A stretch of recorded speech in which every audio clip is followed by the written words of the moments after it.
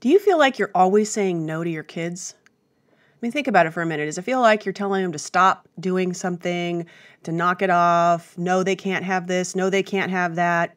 Or just pretty much kind of cutting them off, their desires and what they really want to be doing in the world? And it doesn't have you ever noticed it doesn't really feel good? Like you just feel like the bad guy all the time? Well i want to talk to you about that and share with you a technique that i use that helps me say yes to my son more often and it provides a lot more stability and happiness and joy in our little family. This is Zen in a Moment. It's the podcast where you can learn to train your brain to stop stressing forever and be the cool, awesome person you know you can be. I provide tips and strategies that move you from stressed out to in the flow, flow meaning feeling light, open, and wise. And I'm your host, Zen Cryar DeBrucke, stress as guidance expert. So I adore my son. He's three, almost four years old now. He has got the most joyous, beautiful little heart. If you haven't found me on Facebook, uh, I recommend that you do. Go ahead and look me up and, and check out my little family and where we live. Um, and I've noticed that there are times when I go through this period, if I'm not careful, where it's constant no, stop jumping on the couch, pick that up, don't put that glass there, move this over here, don't take your clothes off. All kinds of different things that are coming up for him at three. And they're not really coming from me being present and conscious with him. In fact, they're a gut reaction to me being in in in my head, being in the hurried moment of life, and not really taking each situation as it arises and gauging it as to what's appropriate for him in that moment.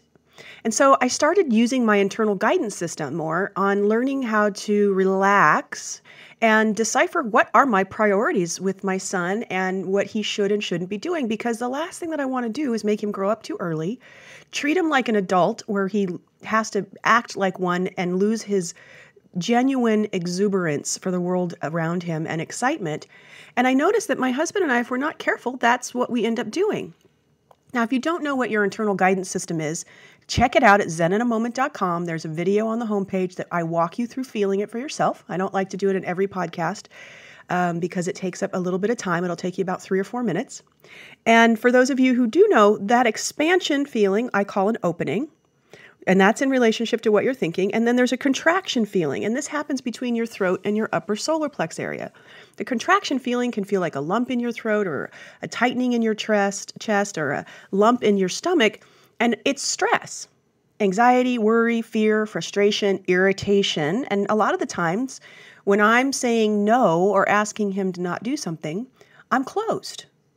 It was like a big aha moment. The irritation the way that I was thinking about my son, what he was doing, and his behavior was closing. That means the way I was thinking about him jumping on the couch. There's good jumping on the couch and there's bad jumping on the couch.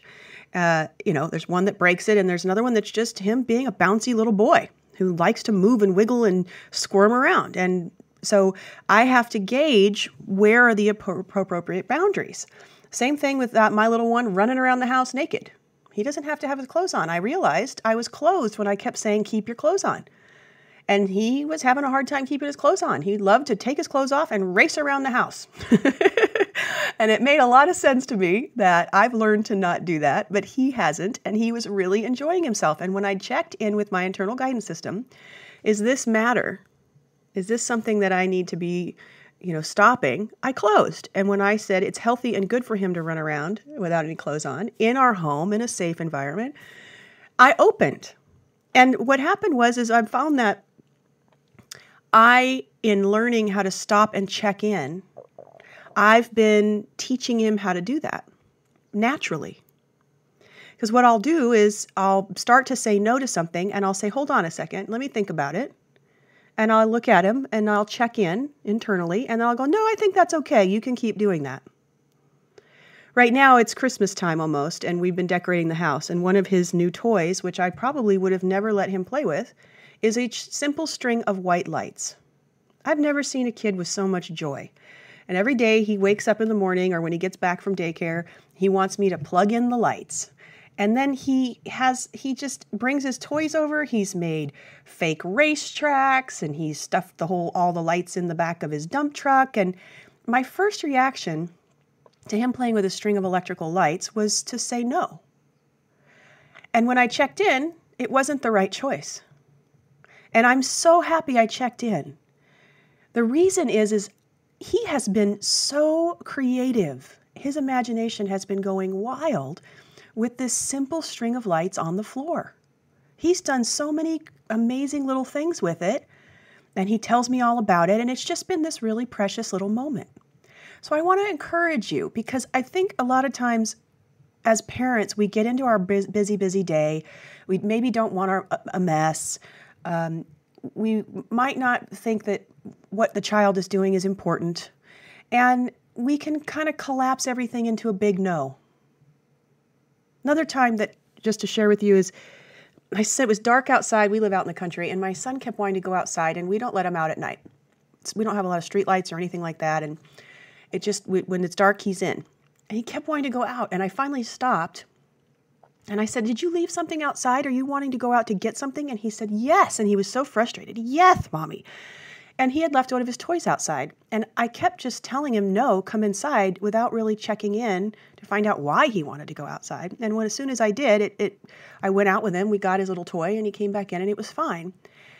And so there's just a place and a way in which this divine center that you have, that we all have, can support you in, in keeping that exuberant child alive, giving him a level or her a level of respect. And then when the no does come, it's opening. Like when there are times when he shouldn't be doing something, or children shouldn't be doing something, you feel an opening. And what I've noticed is, is that when I have an opening to a no, it really isn't an appropriate thing for someone to the child to be doing right now, or that thing in particular. It's well received because what I have found is that opening begets opening. When you're open, the person that you're in relationship with is opening too, very often. And closing begets closing. When you're closed, the other person reacts with closing. And so when you have a no and you're doing it from a place of opening, your child feels that. And the no is respected and understood. There may be some pushback, of course. I used to do a, a summer camp and I also taught kids to ski. And I remember you know, it's so much easier when it's not your kid. But I would also check in with my IGS in being a good teacher. And what I found was is that the kids really responded well to my structure and discipline because I came from a place of opening and they felt cared for and loved and really appreciated in the way that I created the structure for them. So I hope this helps you. I would love for you to be more open in your parenting and have your children experience you as a, in the flow, feeling light, open, and wise as you guide them on their way. We have tons of podcasts at iTunes and SoundCloud and also at uh, my website, Zen in a Moment. Please feel free to go through, share, share, share, let people know about this work. I really appreciate it. Sign up for our email list. We have programs and courses that we're launching. Uh, the Stress to Happiness Makeover is a fabulous program that will get you from being, hoping to be out of stress, to eradicating stress in your life and opening yourself to your own purpose, love, and joy. And so check it out at zeninamoment.com. And of course, if you have any questions or a topic you'd like me to uh, talk on, please go ahead and leave it in the comments or contact me through my website page. I'd love to hear from you. And in the meantime, I'm sending you love and blessings.